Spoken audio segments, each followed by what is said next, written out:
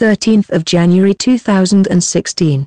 According to the Pentagon, it briefly lost contact with two small U.S. Navy boats operating in the Persian Gulf on Tuesday. The vessels have been picked up by Iran, who has assured Washington that both ships and crew members will be returned to the U.S. promptly.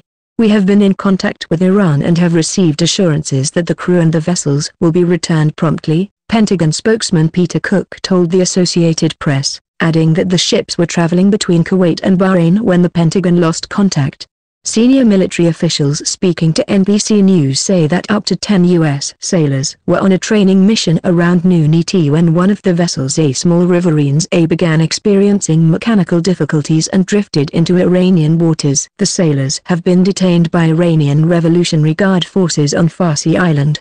The White House says it is working to resolve the situation and once all U.S. personnel returned to normal deployment. Deputy National Security Advisor Ben Rhodes told reporters at the White House that the administration is hopeful that the situation will be resolved.